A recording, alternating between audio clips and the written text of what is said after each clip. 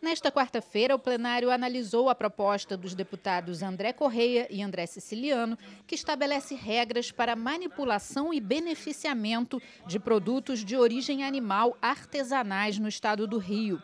O beneficiamento é uma etapa da produção em que o alimento recebe melhorias que agregam valor ao produto. De acordo com o projeto, a produção deve acontecer em unidades sujeitas à inspeção oficial e deve restringir ao máximo o uso de ingredientes industrializados, além de outras medidas.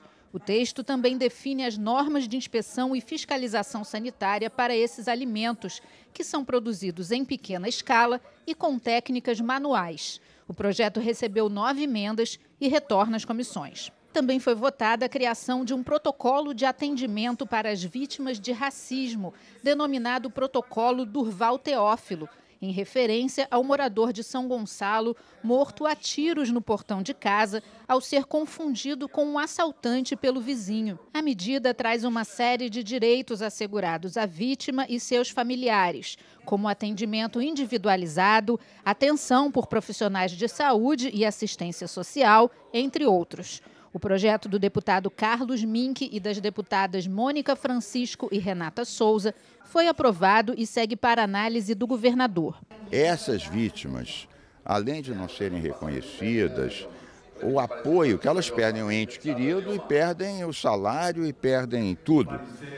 E o, a, o apoio do Estado demora imenso, então acaba sendo sofrimento em cima de sofrimento. O que, que diz o protocolo do VAL? Que essas vítimas têm prioridade, devem ser atendidas logo, serviço social, serviço de assistência psicológica, é, reforço do que, no que cabe, material, em suma, cuidar das vítimas de homicídios racistas e de outros tipos.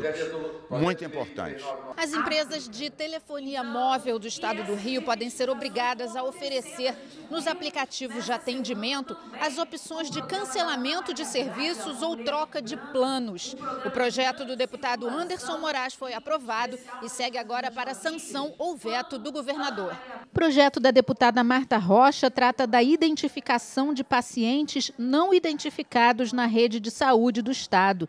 De acordo com o texto, as unidades de saúde do Rio, públicas e privadas, devem solicitar ao Detran a identificação de pacientes vivos e de cadáveres. A Diretoria de Identificação Civil do Detran ficará responsável pelas identificações e emissão de documentos de identidade, a proposta recebeu cinco emendas e voltou às comissões. A gente pode estar, por exemplo, diante de um caso de um idoso que está com perda de memória e que há um, re, um registro de desaparecimento.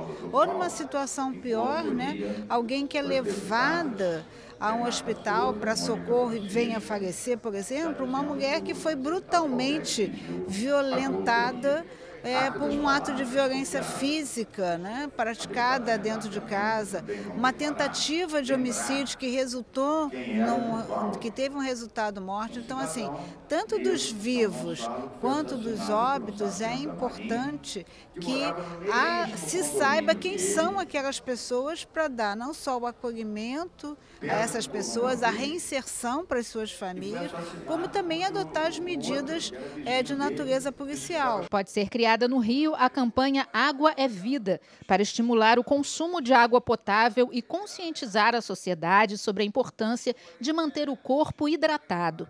A proposta do deputado Márcio Canela prevê ainda a realização de palestras e seminários sobre o tema e a instalação de bebedouros em locais públicos de grande circulação.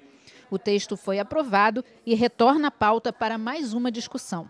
Mototaxistas e motoboys proprietários de motocicletas podem ficar isentos do pagamento de IPVA. A proposta do deputado subtenente Bernardo recebeu uma emenda e vai ser analisada nas comissões.